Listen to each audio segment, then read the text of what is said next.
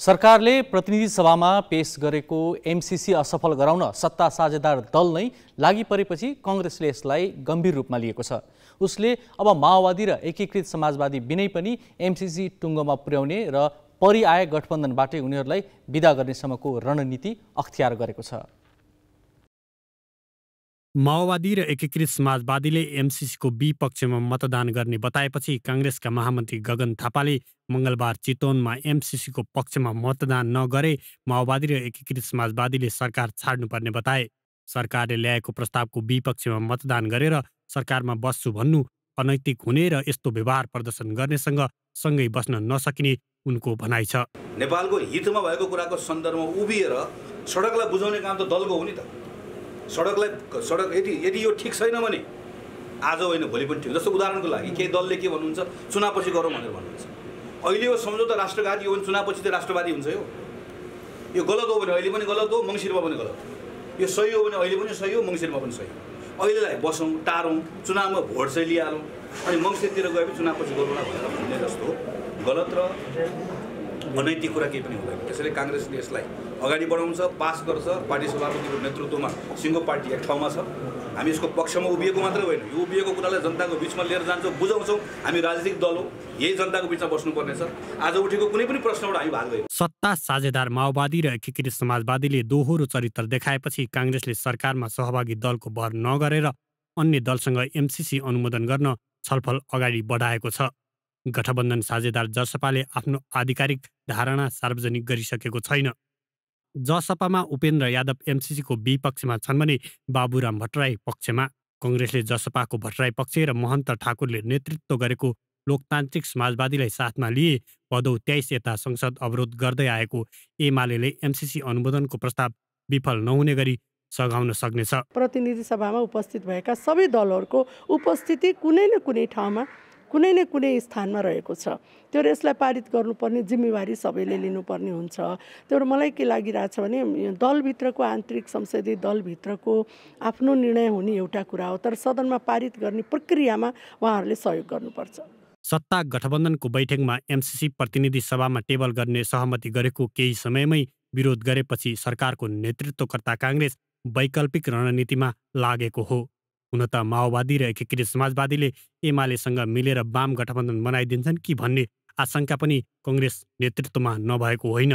तर एमाले ती वाम घटकसँग कुनै हालतमा सहकार्य नगर्ने गरी आश्वस्त तुल्याएपछि प्रधानमन्त्री शेरबहादुर देउवाको मनोबल झन बढेको छ। क्यामेरामा सञ्जय घिमिरेका साथ अङ्गराज नेउपाने ग्यालेक्सी फोके काठमाडौँ। एमसिसीलाई लिएर गठबन्धनमा तीव्र मतभेद चलिरहेका बेला प्रधानमन्त्री शेरबहादुर देउवा र प्रमुख प्रतिपक्षी नेकपा एमालेका अध्यक्ष केपी शर्मा ओली बीच प्रधानमन्त्री निवास बालुवाटारमा वार्ता भइरहेको छ। यस विषयमा थप जानकारी दिन हाम्रा राजनीतिक संवाददाता सृजना घिमिरे अहिले बालुवाटारबाट प्रत्यक्ष सम्पर्कमा हुनुहुन्छ। सृजना बालुवाटारमा प्रधानमन्त्री शेरबहादुर देउवा र प्रमुख प्रतिपक्षी दल एमालेका अध्यक्ष केपी शर्मा ओली बीचको भेटवार्ता के विषयमा केन्द्रित छ? अजयजी यति बेला प्रधानमन्त्रीको सरकारी निवास बालुवाचारमा प्रधानमन्त्री शेरबहादुर देउबा र विपक्षी दलका नेता केपी शर्मा ओली बीच छ चालिसबाट छलफल भइरहेको छ। पहिला उहाँहरू बीच एक्लै एक्लै वार्ता भइरहेको थियो तर केही समयपछि एमालेका तर्फबाट वरिष्ठ उपाध्यक्ष ईश्वर पोखरेल र उपाध्यक्ष विष्णु पौडेल पनि उक्त छलफलमा मिसिनु भएको भन्ने जानकारी हामीले प्राप्त गरेका छौँ र एमालेका केही नेताहरूसँग मैले कुराकानी गरेको थिएँ। केही समय अघि आजको यो छलफल चाहिँ विशेष गरी एमसिसीलाई अनुमोदन गर्ने सम्बन्धमा नै केन्द्रित रहेको भन्ने जानकारी प्राप्त गरेको छु। यसबाहेक अन्य विषय सत्ता गठबन्धनभित्रकै दलहरूले सहयोग नगरे के गर्न सकिन्छ भन्ने लगायतका विषयमा पनि आजको यो वार्ता विशेष गरी केन्द्रित हुने जानकारी प्राप्त भएको छ। एमसिसीलाई लिएर यतिखेर सत्तारूढ गठबन्धनमा तीव्र मतभेद छ।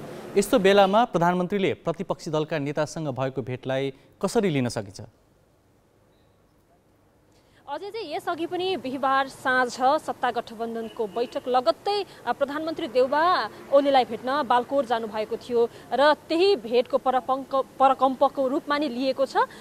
एमसिसी सदनमा टेबल भइसकेको छ। त्यसले सत्ता गठबन्धनभित्रकै घटकहरूलाई एक प्रकारको दबावको स्थितिमा पुर्याएको भन्ने तर्फबाट पनि आकलन भइरहेको छ। त्यो त्यो त्यो कोडबाट पनि टिप्पणी भइरहेको छ। र आज पनि प्रधानमन्त्री आफैले एमाले अध्यक्ष ओलीलाई चाहिँ भेटको लागि आग्रह गरिसकेपछि उहाँ बालुवाचा आउनु भएको भन्ने जानकारी हामीले प्राप्त गरेका छौँ र आजको यो भेटले चाहिँ सत्ता गठबन्धनमाथि अथवा भनौँ भित्रका एकीकृत समाजवादी र माओवादी केन्द्रमाथि अनुमोदनको प्रक्रियामा जाँदा सहयोग गर्ने एक प्रकारको दबावमूलक रणनीति बनाउने माहौल बनाउन सक्ने आकलन गरिएको छ। किनभने उनीहरूले टेबल गर्न दिने माहौल त बनाए तर त्यस पछाडि भने उनीहरूको दोहोरो भूमिका देख्दै आइएको छ। हामीले अघि रिपोर्टमा पनि हेऱ्यौँ। त्यही भएर आजको यो बैठकले चाहिँ एकीकृत समाजवादी र माओवादी केन्द्रले कुनै पनि हालतमा सहयोग नगर्ने अवस्था आएमा एमाले आफ्नो तर्फबाट कसरी सहयोग गर्न सक्छ अथवा हुन सक्छ भन्ने कोडबाट पनि छलफल भइरहेको भन्ने जानकारी प्राप्त भएको छ। यसबाहेक अब के के हुन्छ छलफल के निर्णय हुन्छ समझदारी के हुन्छ भन्ने विषयको लागि त यो वार्ता सकिएसम्मको लागि कुर्ने पर्ने हुन्छ।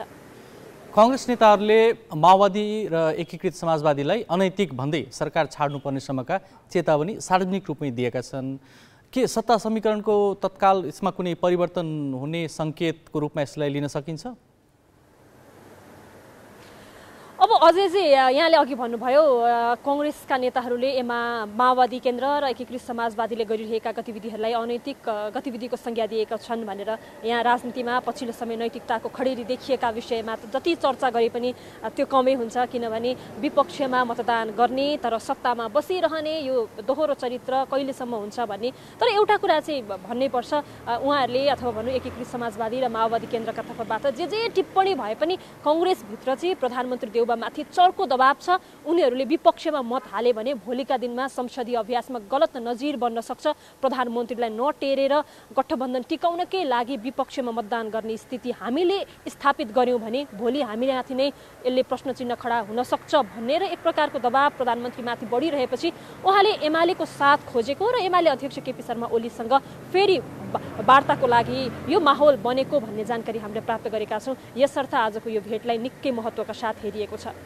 सृजना अन्त्यमा एमसिसी अनुमोदनको विषयमा एमाले आफ्नो भूमिका के हुने भन्ने अझै प्रश्न पारिसकेको छैन। खासमा के हुनसक्छ उसको भूमिका? अब एमाले माथि पनि एक प्रकारको प्रश्न चिन्ह त छ किनभने उसकै सरकारले संसद सचिवालयमा एमसिसी सम्झौतालाई दर्ता गराएको थियो।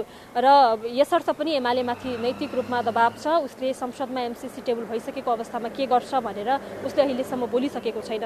तर आज दिउँसो मात्र मैले सत्ता गठबन्धनभित्रका केही नेता र एमालेकै केही नेताहरूसँग कुराकानी गरेको थिएँ। कन्टेन्टका हिसाबले अथवा भनौँ एजेन्डागत हिसाबले एमसिसी संसदमा टेबल गर्ने विषयमा एमालेको कहिले पनि विमति थिएन। र अहिले एमाले जसरी संसदमा विरोध जारी राखेको छ। यो फरक विषय र फरक सन्दर्भमा छ। यसर्थ अब एमसिसी सदनमा टेबल भइसकेको अवस्थामा अनुमोदनको प्रक्रियामा जाँदा चाहिँ एमाले एउटा रणनीति बनाइरहेको र त्यो विषयमा पनि छलफल भइरहेको भन्ने जानकारी हामीले प्राप्त गरेका छौँ। केही सांसद मात्र संसद बैठकभित्र जाने र थोरैमा मात्र उपस्थित भएर विरोध जनाउने र त्यसले चाहिँ उपस्थिति सङ्ख्या घटाउन मद्दत पुग्छ र पास हुन सहयोग हुने माहौल बन्नेतर्फको कोडबाट पनि छलफल भइरहेको भन्ने जानकारी हामीले पाएका छौँ। यद्यपि ध्वनिमतको आधारमा एमसिसी सम्झौता अनुमोदन गर्ने विषय अगाडि बढ्यो भने निकै सहज हुन्छ तर मतदानकै प्रक्रियामा गयो भने चाहिँ त्यो पनि अलिक कठिन कठिन नै देखिन्छ। हस् हस् सृजना धन्यवाद। उनी थिए हाम्रा राजनीतिक संवाददाता सृजना घिमिरे। बालुवाटारमा अहिले प्रधानमन्त्री शेरबहादुर देउवा र प्रमुख प्रतिपक्षी दल एमालेका नेता केपी शर्मा ओली बीच जारी भेटवार्ताबारे पछिल्लो जानकारी दिँदै। राजनीतिक घटनाक्रममा ताजा अपडेट दिँदै जानेछौँ। अहिलेलाई यो प्रसङ्ग यति नै।